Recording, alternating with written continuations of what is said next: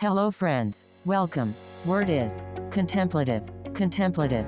Listen again. Contemplative. Meaning is विचार मग्न key to remember the word is. contemple.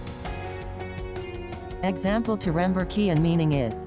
कौन temple में पूजा करने जाए इस विषय पर वे विचार मग्न है Synonyms are pensive, pondering,